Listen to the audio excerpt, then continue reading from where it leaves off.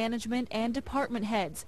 Although no one will lose their jobs, in all, it's an 18% loss in wages. My, my uh, intent is to try to keep everyone employed uh, so that we can continue to deliver services to the city of Trotwood and minimize any impact to the employees' lives. Trotwood Fire Battalion Chief Bill Hoover says he'll still feel the impact, but thankfully things are not looking dire for his family. I won't go hungry, but unfortunately I think I can't say that for the rest of my city employees.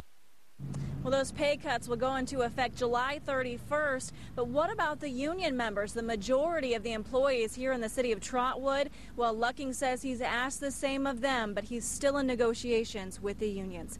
Reporting live in Trotwood, I'm Holly Samuels, 2 News on your side. Okay, Holly, thank you.